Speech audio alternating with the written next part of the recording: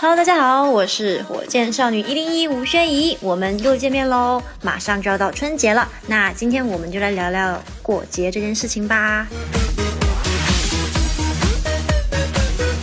第一，今年春节我会在，呃，如果要是嗯时间安排，嗯那天没有事情的话，我当然是想回家陪家里人一起过节。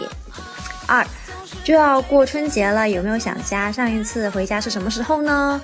嗯，我去年春节因为要呃回归，所以呢很可惜没有回到家里面陪家里人一起过节。但是这一次的话，尽量争取，然后跟家里一起过一次节。上次回家可能是在九月份左右吧。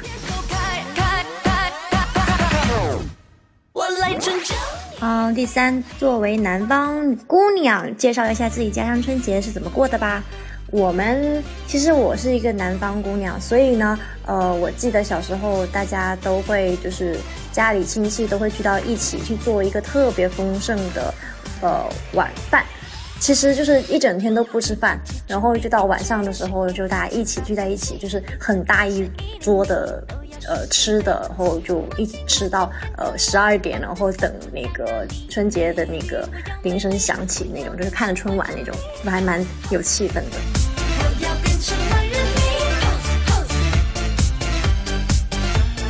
四，现在还会不会收到压岁钱？嗯嗯嗯呃，今年的话，我是给家里人发了压岁钱，哈哈哈哈。五小时候和长大以后过节，对于过节这件事情，对自己有什么不同的意义？嗯，小时候吧，就觉得说过节可以跟好多小朋友一起玩，然后呢，也可以收到压岁钱，还可以跟大家呃一起看春晚。然后我小时候觉得过节是一个特别有意思的一个呃节日。长大了以后呢，可能就是比较想家吧，因为就是长大了以后。呃自己有一些自己的小梦想，然后呢，可能就离开家里面，就嗯，还蛮想家的，所以呢，就在这个部分上面可能会有一些变化。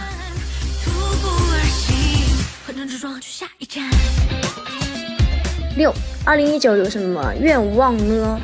嗯，我希望我的二零一九呢，就是天天开开心心、顺顺利利，然后不要因为任何事情而困扰到我就 OK 了，简简单单就好。然后，呃，希望能够有自己的呃优秀的作品，然后自己也会好好努力。好啦，今天我们的节目就到这里啦。企鹅 FM 的朋友，大家好，我是火箭少女一零一吴宣仪。新年到啦，祝大家在新的一年里越来越美丽，身体健康，所有愿望都能实现。祝大家新年快乐，诸事顺利。我们下期见，拜拜。那光就是我。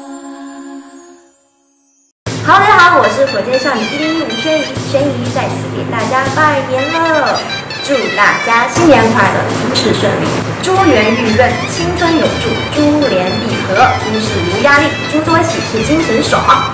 过年期间节目不停播，记得每周五晚上十点收看浙江卫视。